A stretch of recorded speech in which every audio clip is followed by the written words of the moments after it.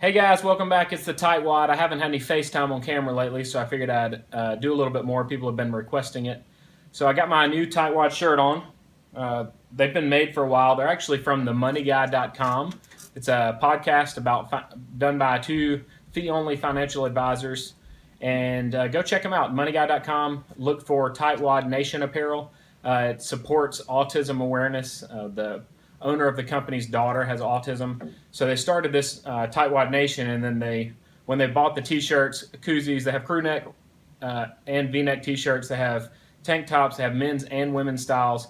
Uh, like I said, koozies. But go check them out. Purchase some stuff. All the uh, profits from it go to an autism foundation. But today we are.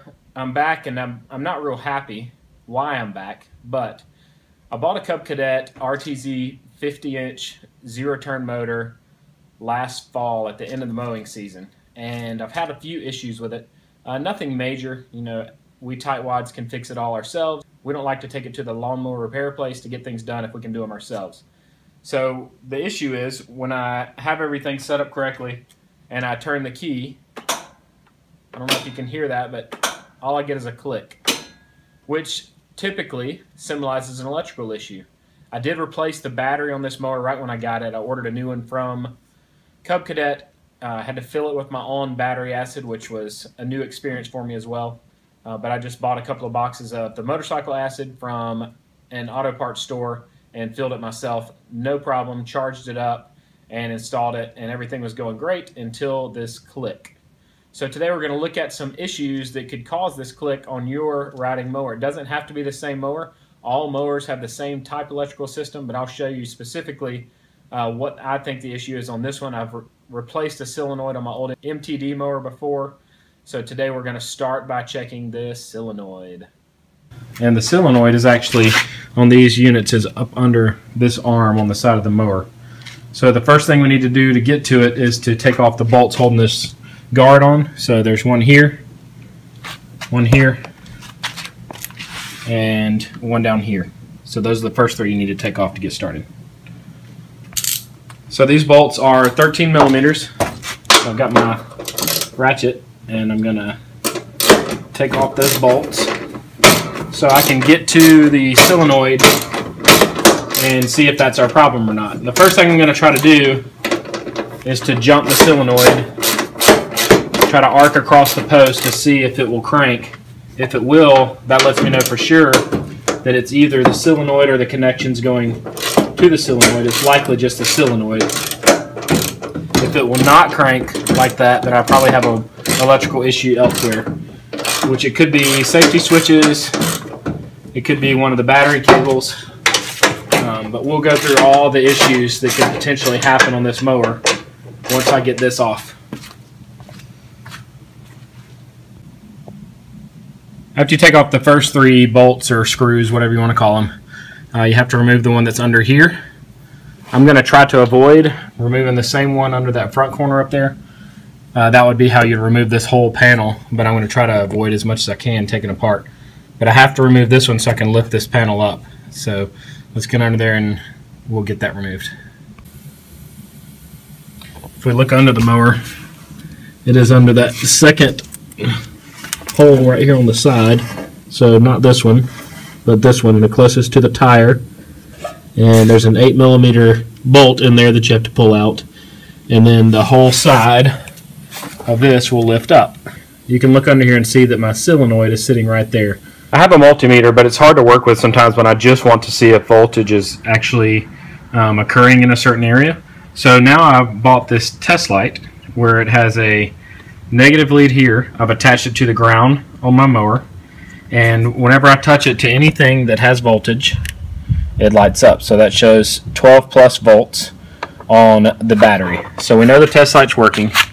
So now we want to test to see where our continuity stops with our system.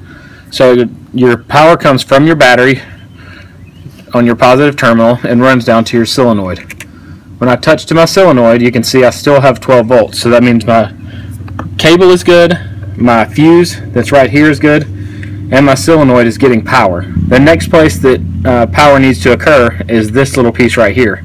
This needs to get power whenever the key is turned on the ignition of the mower so that what it does is it sends 12 volts here, it charges the solenoid which connects between these two posts. If I touch this post right now, on the opposite side of the solenoid I get nothing because it's not charged and there's no connection between these two posts. Once those two things energize and the, the post connect, it goes through, um, goes to the starter, and then the starter is what starts your mower. If you read 12 volts when at this spade right here when you turn the key, then you know that everything is happening to power the solenoid properly, but the solenoid itself is probably damaged. So now we need to try to jump across the, the post and see if the thing turns over. This is a dangerous process that I'm about to do, so do it at your own risk. I'm not recommending that you do it, but I'm saying you can do this to test your solenoid. I have a chisel that I've insulated the handle on. Nice big flat surface, and I'm going to touch it to each of the posts at the same time and see if it will make the motor turn over. I'm go ahead and stick it on here. Sparks will fly. Make sure there's no fuel cans, open fuel cans anywhere nearby. So you just stick it on one post, touch it to the other.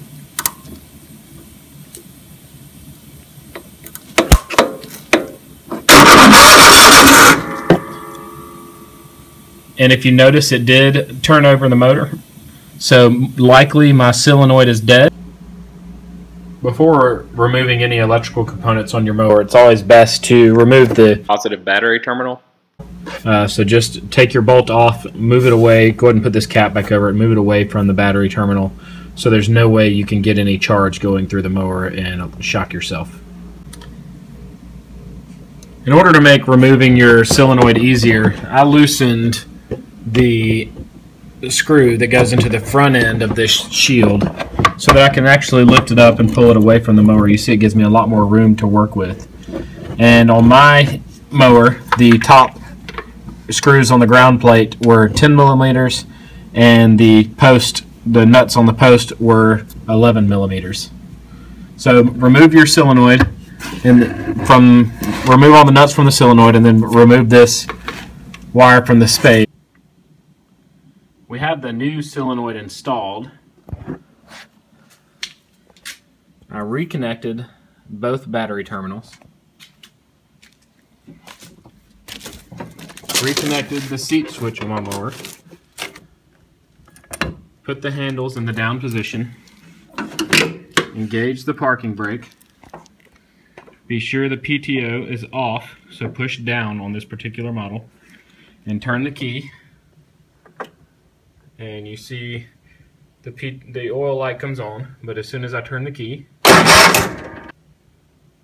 so replacing the solenoid on this mower has fixed our electrical issues and the mower now cranks.